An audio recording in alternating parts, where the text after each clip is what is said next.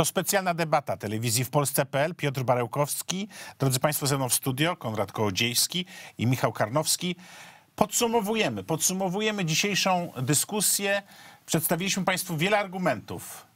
Nacisnęliśmy czerwony guzik. E, Rozkręciliśmy jak tylko mogliśmy budzik, żeby pokazać Państwu, bo my pilnuj- pilnujemy Polski, że niedobrze się dzieje, że, że trzeba zwrócić uwagę na to, co robi, a właściwie na to, czego nie robi Rafał Trzaskowski tuż po wyborach i na to, jak dajemy się oszukiwać. To mocne słowa, ale, ale ja dzisiaj je wypowiem. Jak- dajemy się oszukiwać Platformie Obywatelskiej. Drodzy Państwo, kolejny raz. O tym dziś będziemy rozmawiali. Panowie, y, czy jest szansa na odbicie? Mamy teraz 5 lat, 5 lat, y, podczas których będzie brylował w mediach Trzaskowski, podczas których nie będzie takiego dostępu do opinii warszawskiej innych kandydatów. Czy, czy jest szansa i gdzie by panowie upatrywali szansy na odbicie tego trendu? I czy w ogóle to jest możliwe? To pytanie zadaję właściwie po raz drugi, ale chciałbym, żebyście odpowiedzieli w kontekście istniejących kandydatów, bo zaraz im oddamy głos. Ja myślę, że y, wszystko zależy też od, trochę właśnie od, y, od tego otoczenia. Bardzo mi się podoba. Naprawdę budzi mój szacunek, że Patryk Jaki po tym, jak dostał ten potężny i zaskakujący łomot, bo chyba zasługiwał na więcej, jeśli byśmy w każdym razie energię, pracę, taką, taką miłość też do tego miasta liczyli. Ale co zrobił, co zrobił Jaki? Nie obraził się na warszawiaków, nie obraził się na, na, na, na kolegów nawet partyjnych, którzy mu tam często tę, tę nogę też podkładali, tylko wstrząsnął się i powiedział, dobrze, patrzę, jakie, patrzę Trzaskowskiemu dalej na ręce. Będę go pilnował. Już widzimy jakiś efekt, jakaś presja społeczna. Może celem maksymalnym środowisk propolskich, tak bym to powiedział, w Warszawie i w innych wielkich miastach jest no, na razie nie odbicie tych miast, ale wytworzenie siły, która będzie w stanie zatrzymywać największe szaleństwa albo korygować największe oszustwa. Chociażby to, prawda? Chociażby to. I druga rzecz, y, y, tutaj bitwa, pamiętajmy, będzie szła o stawkę fundamentalną. 2019 rok. Moim zdaniem nasze wnuki będą pytały, co wtedy robiłeś. Może trochę przesadzam, ale ta szansa, którą mamy, żeby ten kurs odbudowy suwerenności państwa polskiego, to o czym Konrad powiedział, poszerzenia naszego, naszego pola wolności, e, ta szansa się zdarza. To nie jest tak, że, że w każdym pokoleniu nawet. Tato, dlaczego wtedy nie działałeś? Dlaczego Teraz byłeś musimy bierny? siedzieć w meczecie. Tak. Nie no, teraz muezin yy, śpiewa za oknem. No, przeszkadzają ci kościelne dzwony, będziesz miał muezina. No, życie nie znosi No ja się staram, żeby nie dopuścić tego, tego, tego, tego muezina do, do, do, do minaretu, żeby tam śpiewał na, na, na, na całą Warszawę, aczkolwiek no, nie, do tego, żeby do tego nie dopuścić, trzeba, żeby nas było trochę więcej. W Warszawie rzeczywiście jest tak, że to już pokazał wynik Patryka Jakiego, że to jest te 30, 30 parę procent i to jest rzeczywiście stabilny, zdaje się, że dość stabilny, twardy elektorat y, prawicy w Warszawie. Y, Pytanie, czy można go poszerzyć? No tutaj bardzo wiele zależy też od, od, od, od, od tego, co się będzie działo w ciągu najbliższych lat.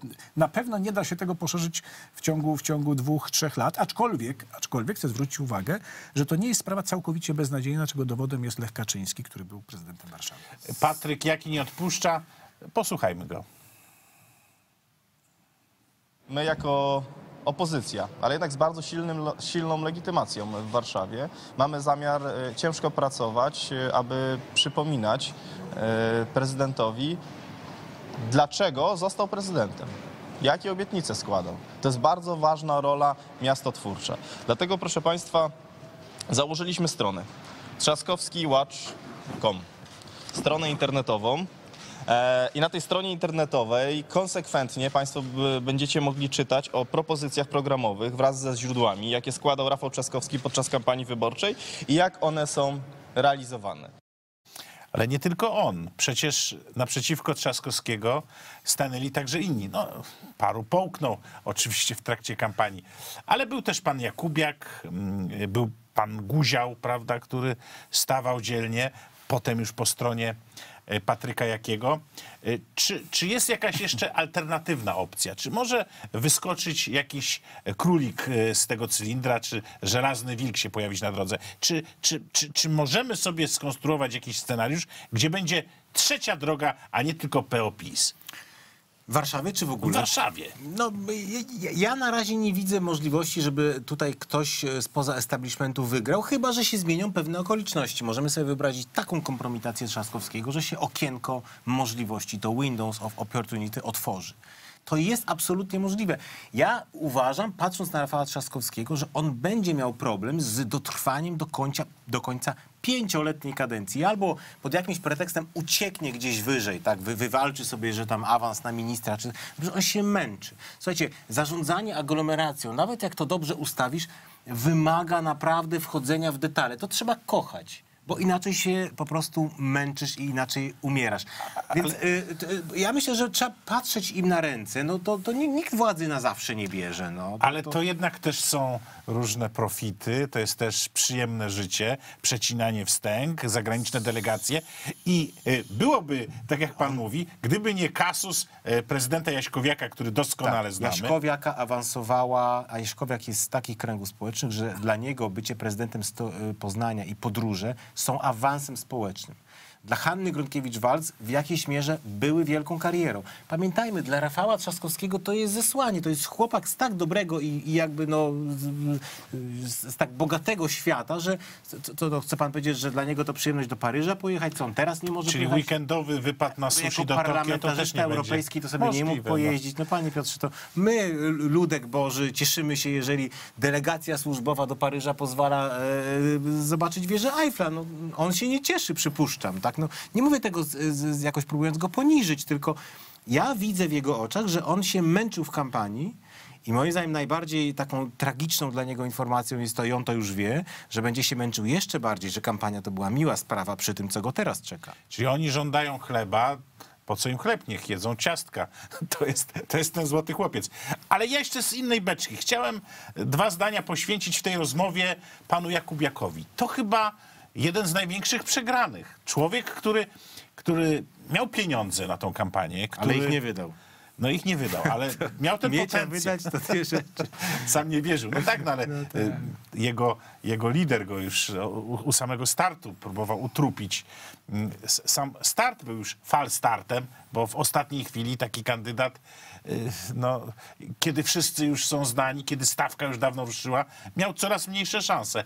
Krótko mówiąc, czy ktoś taki y, y, może się pojawić? Czy y, musimy nawet tego pana Jakubiaka już dzisiaj skreślić, czy jeszcze pewne szanse byśmy mu dali? No wiemy, że teraz startuje z nową inicjatywą, z inicjatywą na wybory do Europarlamentu, gdzie no, w, w jakiejś tam szerszej koalicji ma szansę zdobyć niemałą pulę głosów, jeśli wykaże się większą zgrabnością polityczną. No nic, Warszawa to jest specyficzne miasto. Kiedyś Staszek y, Janecki użył takiego sformułowania Polak nowocześniak. Określił w ten sposób Rafała Trzaskowskiego, to jest bardzo trafne, nowocześniak. I trzeba tutaj w Warszawie takiego trochę nowocześniaka. E, Dlatego, że i Marek Jakubek na pewno nie jest z kategorii Z nowocześniak. muflonem e, pod szyją. Tak samo nie był z tej kategorii Patryk. Jaki. Też nie był z tej kategorii.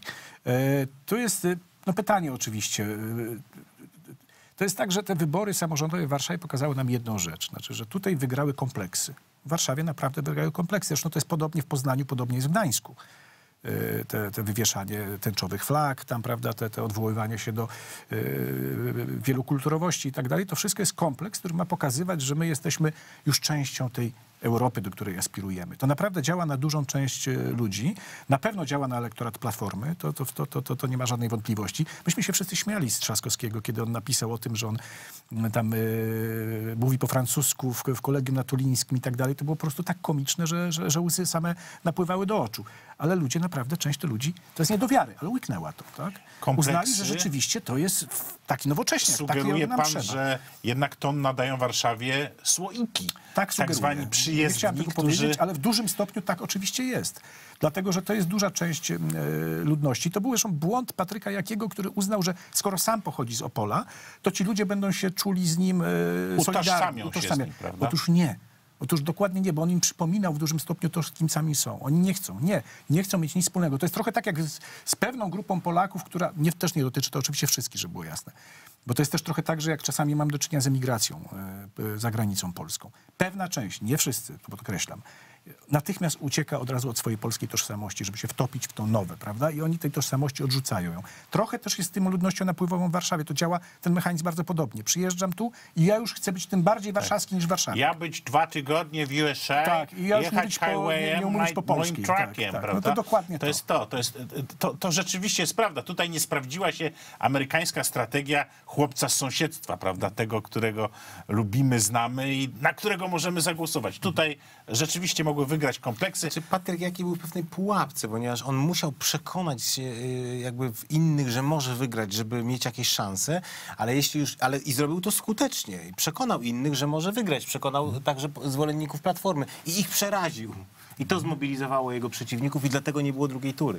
Posłuchajmy jakichś tam trochę żali, prawda? y, Przegranego Marka Jakubiaka. Ja kiedyś to nazwałem tak, że y, hula i dusza piekła nie ma.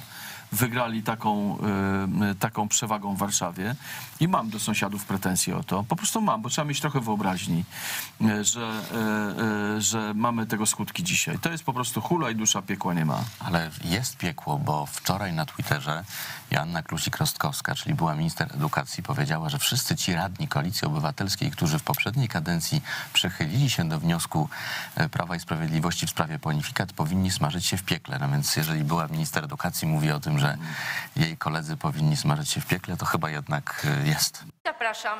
Czy można mieć pretensje do społeczeństwa? Nie, ale pamiętajmy, wyciągnijmy wnioski. Są dane. One są jakieś tam sztabowe, gdzieś przecieki miałem takie. 60% warszawiaków, czy tych głosujących, podstawowe informacje polityczne czerpie z Facebooka. To jest ich podstawowe źródło informacji. Jednocześnie w czasie kampanii warszawskiej mieliśmy potężną rurę z pieniędzmi. Opisywał to Marek Pyza i Marcin Wikoł w świetnym takim śledczym tekście w, w tygodniku sieci. Była rura z pieniędzmi. Ktoś zapłacił za jakieś kampanie, które nie były kampaniami partyjnymi, ale były bardzo agresywne wobec jakiego. Rysowały go jako potwora, któremu się musimy przeciwstawić. Facebook te pieniądze wziął, Google te pieniądze wziął e, i według wielu ekspertów to był poligon przed wyborami parlamentarnymi. To samo zostanie zrobione być może w dużej kampanii. Nie można się obrażać. Trzeba zidentyfikować, dlaczego pewne rzeczy się stały. Trzeba przekonywać współrodaków i współmieszkańców i trzeba się bić i być e, takim no, dobrym, e, aktywnym politykiem. Bo słuchajcie, no powiedzenie, e, no warszawiacy, kompleksy, znaczy to nic nie zmienia. No bo przecież ostatnią Jeśli są kampanię... aspiracyjni, to im trzeba dać aspiracyjność. No. Bo przecież ostatnią kampanię w internecie wygrał PiS. To było tak, że internety myśmy wygrali. No I tam ci wyciągnęli taka, wnioski. Taka była I konstatacja. już PiS nie wygrywa. Tak. Polska jest jedynym krajem w Europie, jednym z niewielu, w którym na przykład zasięgi y, komunikatów politycznych są sztucznie przykręcane. Zresztą z tym internetem, przepraszam, to jest też ciekawe, bo to jest tak, że jeżeli byśmy teraz się odwołali do wyborów tych ostatnich samorządowych, no to się okazuje, że mm, to jest potwierdza to, o czym ty mówisz na, o Facebooku, bo na Facebooku rzeczywiście bardzo aktywny był Rafał Trzaskowski. Z kolei na Twitterze bardziej aktywny był y, Patryk Jaki. I się okazało, że te tweety Patryka Jakiego trafiały w dużym stopniu do takiej bańki prawicowej, bo to są bańki. I one trafiały nawet nie do ludzi z Warszawy, tylko gdzieś do ludzi tam, powiedzmy, z innych miast, którzy potem byli bardzo zdziwieni. To bardzo było wyraźnie widoczne, jak mm, już zostały mm, y, podane wyniki wyborów, tak, w których, z których jasne było, że Patryk Jaki nawet nie wejdzie do drugiej tury. To było takie rozczarowanie. Jak to możliwe? Przecież on już de facto wygrał. Tak? Znaczy, to jest tak, że ci ludzie sami się nakręcają pewnymi, pewnymi e, informacjami, które krążą w internecie. Sugeruje pan, że zabrakło tutaj autorom kampanii pewnej inteligencji, że adresowali przekaz do przekonanych, Do przekonanych. a tak, nie potrafili stopniu, wyjść tak. dalej, nie potrafili właśnie ale tu, jest skonstruować jeszcze, czegoś... ale tu jest jeszcze ten, ten element, o którym mówił Michał przed chwilą i który też wcześniej mówiłem, że tu jest potrzebny właśnie kandydat, który będzie odpowiadał na aspiracje tych ludzi, czyli taki nowocześniak. Tylko to powinien być taki nowocześniak, o ile to jest w ogóle możliwe e, od strony prawicowej. Tak? Ale też myślę, że wszystko, czasami wszystko, co złe, potrafi się na dobre obrócić. Nikt nie może powiedzieć już po tych wydarzeniach warszawskich, od których zaczęliśmy nasze spotkanie, że nie, nie ma świadomości, co oznacza wygrana Platformy. Że naprawdę 500 plus może być tak rozwodnione, że nie zaistnieje, że pieniądze 40 miliardów za poprzedni rok, które wróciły do budżetu, w tym mówi się, że będzie jeszcze więcej, wrócą do grup oligarchicznych, że znowu kamienice będą na pstryknięcie. Słuchajcie, no, no drodzy Państwo, no żadnych złudzeń. Znaczy, to jeśli, jeśli, jeśli, jeśli, jeśli ktoś chce mi powiedzieć, że, że potem powie, że nie wiedział, to ja mu dzisiaj mówię, łżesz, kłamiesz. Wszyscy wiedzą, co oznaczają rządy Platformy. Może po to wygrał Trzaskowski, żebyśmy to sobie przypomnieli. Platforma nigdy nie sięgnęła samego dna. Oni przegrali, oni teraz są w opozycji, ale nie sięgnęli samego dna. Nie dotarli. Z subwencjami, dotacjami nie może. Właśnie, nie- nie dotknęli. I, i myślę, że niewystarczająco się nauczyli, że ta mentalność, która, ta mentalność kręcenia lodów, która jest obecna w platformie, ona dalej będzie funkcjonowała. To nie to, to nie to. Ktoś stracił kilkadziesiąt miliard, miliardów złotych rocznie. Ktoś przestał robić złote deale. I ten ktoś chce te pieniądze odzyskać. No naprawdę mafie VAT-owskie to nie są bezosobowi gracze. No, kto- Ktoś tam, ktoś tam konto ma albo nie ma. No. W Warszawie też to widać, jeśli chodzi o tą mafię reprywatyzacyjną. Ona się przyczaiła, ona nie zniknęła, ona jest.